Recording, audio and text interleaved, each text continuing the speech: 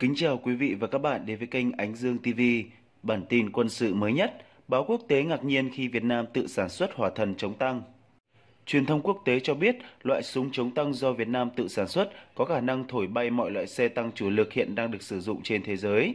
Cách đây ít ngày, truyền thông quốc tế tỏ ra khá bất ngờ với việc Việt Nam đã sản xuất nội địa và trang bị số lượng lớn loại súng chống tăng RPG-29.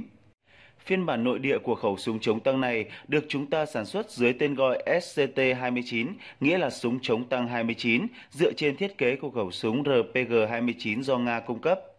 Đây là loại vũ khí chống tăng cá nhân hiện đại, được nhiều quốc gia trên thế giới ưa chuộng và được cho là có khả năng tiêu diệt mọi loại xe tăng chủ lực phổ biến ngày nay.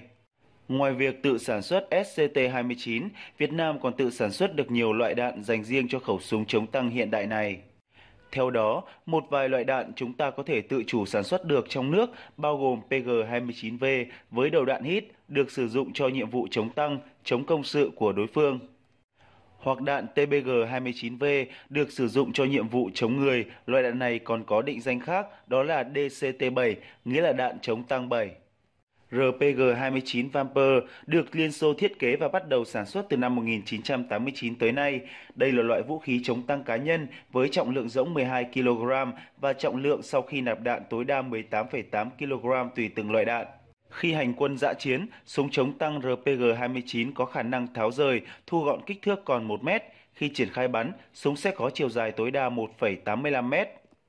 Tùy từng loại đạn và cách bắn mà tầm bắn hiệu quả của RPG-29 sẽ khác nhau. Tầm bắn của súng khi xạ thủ quỳ bắn đặt súng lên vai là 500m. Trong khi đó, nếu sử dụng giá súng cùng hệ thống ngắm, tối đa có thể lên tới 800m. Khi sử dụng đầu đạn hít, súng có khả năng xuyên tối đa 650mm thép cán đồng nhất có trang bị giáp phản ứng nổ ERA, nghĩa là đủ sức thổi bay mọi loại xe tăng chủ lực hiện nay được trang bị trong khu vực và trên thế giới. Với những mục tiêu sử dụng bê tông gia cố, đạn chống tăng của RPG-29 có thể xuyên được 1.500mm, với mục tiêu xây bằng gỗ hoặc các vật liệu tự nhiên như cát, đất, đá, độ xuyên có thể lên tới 3.700mm. Hiện tại, bên cạnh khẩu SCT-29, quân đội Việt Nam vẫn tiếp tục trang bị toàn quân và sử dụng khẩu súng chống tăng RPG-7 hay còn được gọi là B-41 với khả năng tác chiến rất ấn tượng dù đã được ra đời từ rất lâu.